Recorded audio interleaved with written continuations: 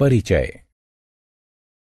Madam मुझे खिड़की बंद करनी होगी। सूरज की किरणों से गर्मी हो रही है। ठीक है अदिति। तुम खिड़की बंद कर सकती हो। एक बार खिड़की बंद करने के पश्चात क्या तुम बता सकती हो कि शब्द किरणों से तुम्हारा क्या मतलब था? अ, मैं नहीं जानती मैम लेकिन इसे हम सूर्य के प्रकाश को दर्शाने के लिए प्रयोग करते हैं। ठीक है। तो आज मैं तुम्हें रेखाओं, किरणों और कोणों के बारे में विस्तार से बताती हूँ। बच्चों, इस पाठ में हम कोणों और उनके प्रकारों के बारे में जानेंगे। हम रेखाओं रेखाओं के युग्मों तथा समानांतर रेखाओं के बारे में भी सीखेंगे। उद्देश्य, इस पाठ के अंत में आप निम्न करने में सक्षम हो जाएँगे। विभिन्न प्रकार के कोणों को पहचानना, रेखाओं तथा रेखाओं के युग्मों का वर्णन करना, समानांतर रेखाओं की व्याख्या करना। अवलोकन। रेखाएँ कई प्रकार की होती हैं, जिनका उपयोग आप एक आसान सा चित्र बनाने के लिए करते हैं। आप एक साधारण घर, एक सूर्य इत्यादि बना सकते हैं, एवं आप इन चित्रों को निरूपित करने के लिए सरल रेखाओं का उपयोग करते हैं। आइए उपयोग होने वाली इन रेखाओं के विभिन्न प्रकारों को देखें। रेखा। एक रेखा का कोई प्रारंभिक बिंदु तथा अंत बिंदु नहीं होता है। आप दोनों दिशाओं में एक रेखा को असीम रूप से फैला सकते हैं। रेखाखंड। एक रेखाखंड का एक प्रारंभिक बिंदु तथा एक अंत बिंदु होता है। किरण। एक किरण का आरंभिक बिंदु होता है, किंतु अंत बिंदु नहीं होता है। कोण। समान प्रारंभिक बिंदु वाली दो किरणों से एक कोण की रचना की जाती है।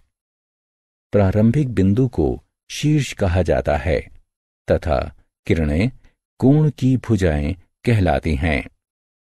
संबंधित कोण। एक कोण को दो किरणों के मिलन के रूप में परिभाषित किया जाता है, जिनका अंत बिंदु एक ही होता है। कोण की भुजाएँ दो किरणें होती हैं। जबकि शीर्ष उसके उभयनिष्ठ अंत बिंदु होते हैं। चार प्रकार के कोण होते हैं। वे इस प्रकार हैं। पूरक कोण, संपूरक कोण, आसन्न कोण तथा ऊर्ध्वाधर कोण। अब सभी कोणों को संक्षेप में देखते हैं।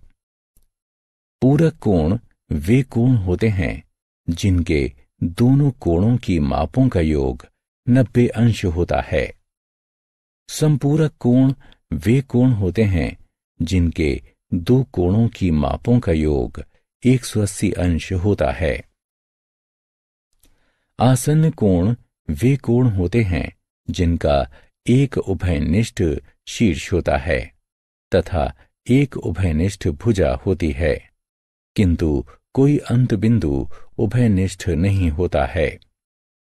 जिनकी भुजाएँ उभयनिष्ठ नहीं होती हैं, ऐसी भुजाओं के रूप में किरणों वाले आसन्न कोणों का युग्म एक रैखिक युग्म कहलाता है। ऊर्ध्वाधर कोण, वे कोण होते हैं, जिसके दोनों कोणों का एक शीर्ष उभयनिष्ठ होता है, तथा जिसकी भुजाएँ दो रेखाओं का निर्माण करती हैं। प्रतिच्छेदी रेखाएँ। दो रेखाएँ अलग अलग तरीकों से एक दूसरे से जुड़ी हुई होती हैं। आइए प्रत्येक तरीके को अलग अलग देखते हैं। प्रतिच्छेदी रेखाएँ वे रेखाएँ होती हैं जिनका केवल एक और केवल एक ही बिंदु उभयनिष्ठ होता है। ये उभयनिष्ठ बिंदु प्रतिच्छेदन बिंदु कहलाता है। त्रियकछेदी रेखा। एक त्रियकछेदी रेखा वो रेखा होती है जो दो रेखाओं को भिन्न बिंदुओं पर प्रतिच्छेदित करती है। अधिकांशतः एक त्रियक छेदी रेखा से कई कोणों की रचना की जाती है। त्रियक छेदी रेखा द्वारा निर्मित कोण। त्रियक छेदी रेखा से सात प्रकार के कोणों की रचना की जाती है। वे इस प्रकार हैं। संगत कोण, अंतः कोण, बाह्य कोण, एकांतर अंतः कोण। क्रमगत अंतः कोण, एकांतर बाह्य कोण और क्रमगत बाह्य कोण। उपरोक्त कोणों के बारे में विस्तार से जानने के लिए उन पर क्लिक करें। समानांतर रेखाओं की त्रियक छेदी रेखा। जब दो समानांतर रेखाओं को एक त्रियक छेदी रेखा के द्वारा काटा जाता है, तब आप पाएँगे कि संगत कोण बराबर होते हैं। एकांतर अंतः कोण का प्रत्येक युग्म समान होता है और अंतः कोणों का युग्म संपूरक होता है। समानांतर रेखा।